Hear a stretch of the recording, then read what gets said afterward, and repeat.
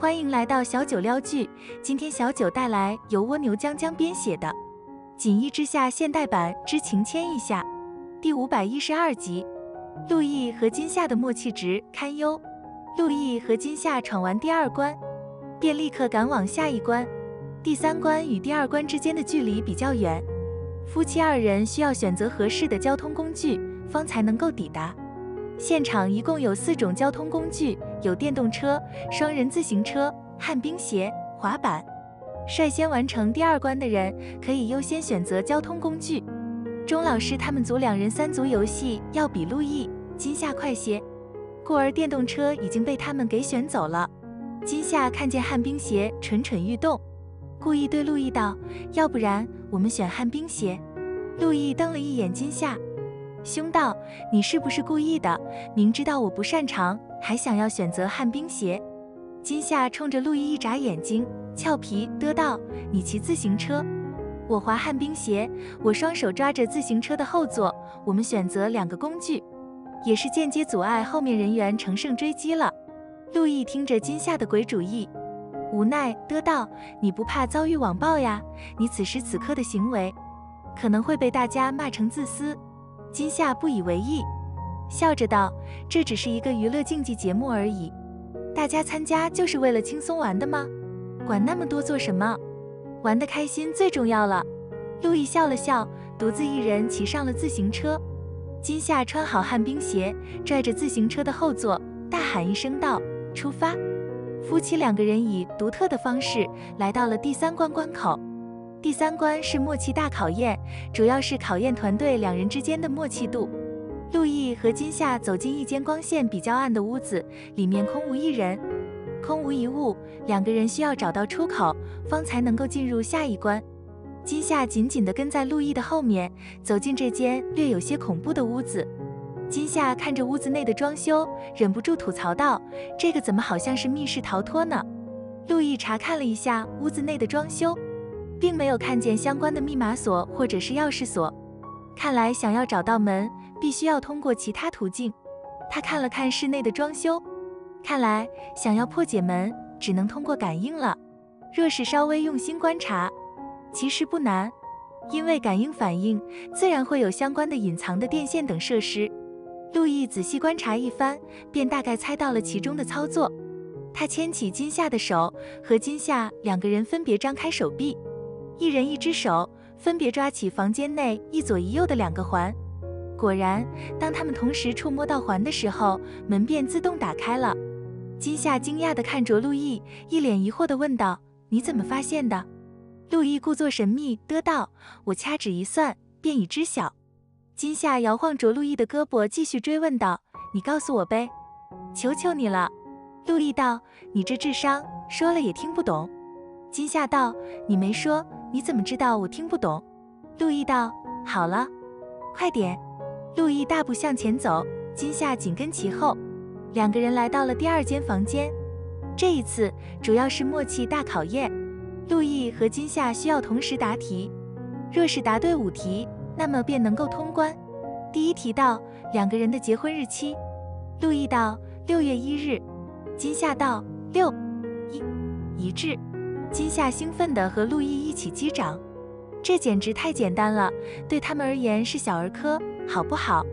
第二题道两个人第一次接吻的地点，陆毅道酒吧，金夏道太久了，有些想不起来了。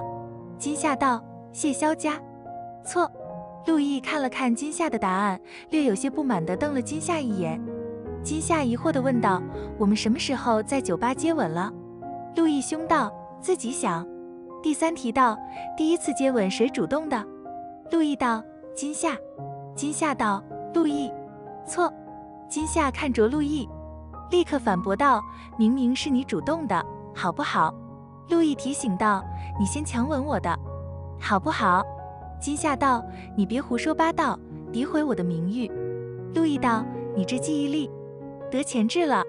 第四题道：吵架的时候都是谁先妥协？陆毅道：“我。”金夏道：“我。”错。金夏瞪着陆毅道：“分明是我先哄你的，好不好？”陆毅道：“哪有？”金夏道：“明明是我先哄你的。”陆毅道：“我不记得了。”金夏道：“陆毅，你是不是老年痴呆？”陆毅道：“下一题。”第五题道：“对方的生日。”陆毅道：“中秋节。”金夏道：“四十一，满分。”第六题道：“男方送给女方的第一个礼物是什么？”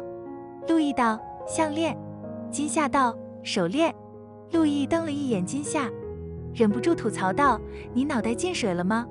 金夏恍然大悟，连忙道：“对对，是项链，我记混了。”第七题道：“女方送给男方的第一个礼物是什么？”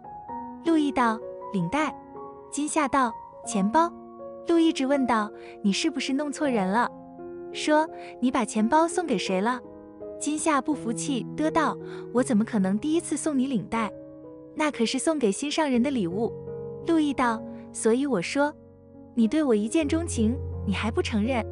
金夏道：“明明是你对我一见钟情。”第八题道：“家里谁管钱？”